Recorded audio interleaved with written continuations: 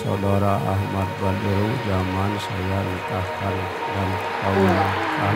Saya terima nikahnya Winang Sijun Pak Agus Sutarja dengan mas kawin tersebut dibayar tunai.